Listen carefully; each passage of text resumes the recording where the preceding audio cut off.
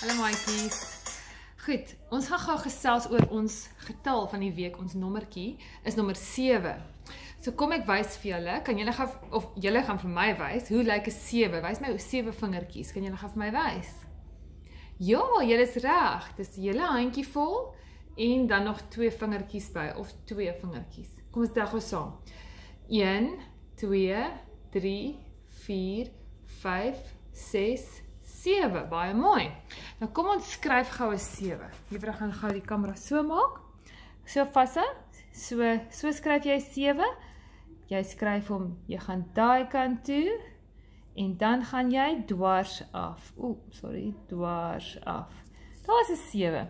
Nou ek gaan hom net bietjie dikker maak. Jy kan self of jy kan vir mamma vra om hom net bietjie dikker te maak want ons gaan hom moet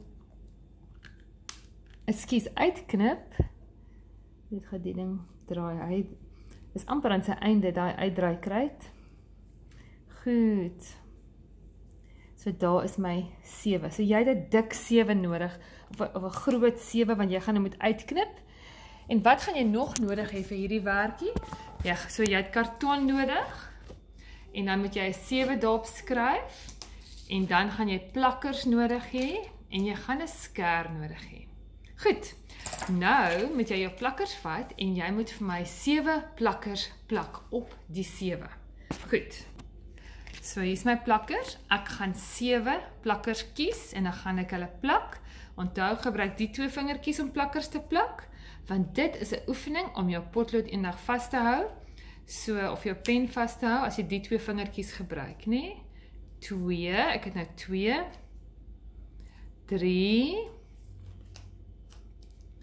4. Gaan nou vir julle wys. Ek haal die plakker af. 5.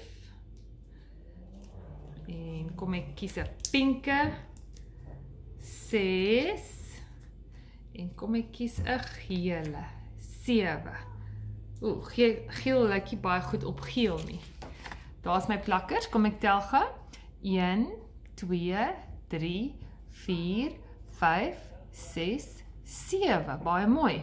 Nou gaan jy jou skerp vat en in jou slim handjie en dan gaan jy dit uitknip. Onthou maatjies, so netjies as wat jy kan uitknip. Ons is nooit super haastig as ons knip nie. Ons knip net stadig want ons wil graag op die lyntjie knip. So as jy nou mooi kyk soos juffrou knip, hierdie handjie hou altyd die papier of die karton mooi vas sodat ehm um, jy die ander handjie help om mooi te knip. Daar sê. Sien jy nou draai my hand, hierdie hand draai nou die papier sodat hierdie hand kan knip. Nee. En nou is ek daar, nou met hierdie hand weer draai sodat hierdie hand weer kan knip. Goed, so die twee hande werk aan ek saam.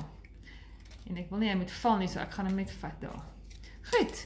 En daar is my 7. So daar's 7 plakkers op jou 7 en jy het hom mooi uitgeknip, mooi netjies.